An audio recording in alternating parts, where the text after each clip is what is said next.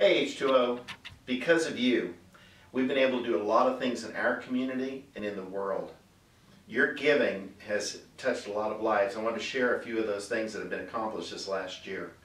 This year we took a whole herd of teenagers and adults and went to Loving Hands Ranch and we remodeled and repaired their buildings up there. Still have more to do. We're looking forward to replacing all of their mattresses. So we have an ongoing project at Loving Hands. Also with Salvation Army, We've been blessing them with bedding and toiletries this year, and of course, we've partnered with them. That's the joy of, of being a part of this community. Also, we reached out to the Moore tornado victims this year. We serviced uh, thousands of lunches that we took for all the volunteers that went and served up there helping clean up and restoring people's lives. This year in, in Ardmore, we've touched a lot of lives through loaves and fishes also through the uh, Grace Center and the Soup Kitchen, where we give faithfully to those folks. This year also in the world, in the Philippines with the disaster, uh, we were able to send thousands of dollars because of you. Because of you, we're making lots of changes in this community, reaching lots of people for Christ and servicing them with, with His love.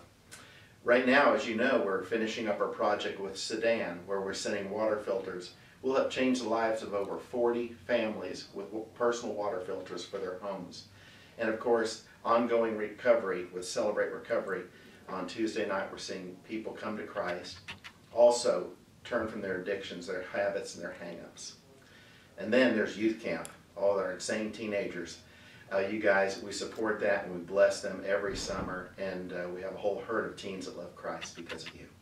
Bless you guys, and let's look forward to another great year in 2014.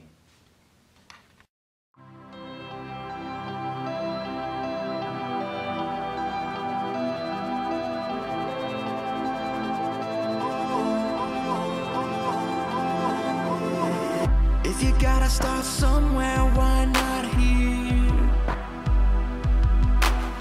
If you gotta start sometime, why not now? If we gotta start somewhere, I say here.